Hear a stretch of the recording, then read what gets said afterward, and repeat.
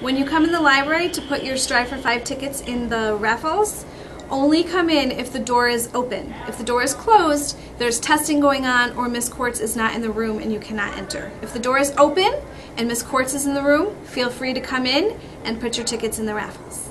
Good luck!